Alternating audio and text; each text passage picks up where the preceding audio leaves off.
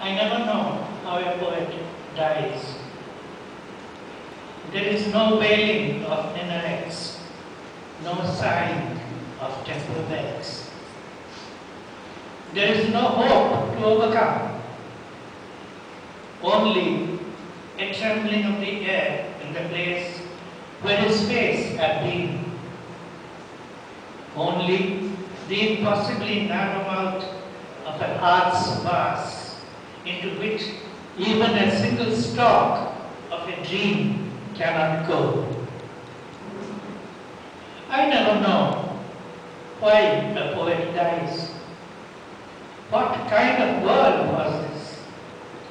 Houses lie scattered all over, leaning into the new darkness. The doors have receded in their sockets. On top of a red double decker bus, pitching along the streets.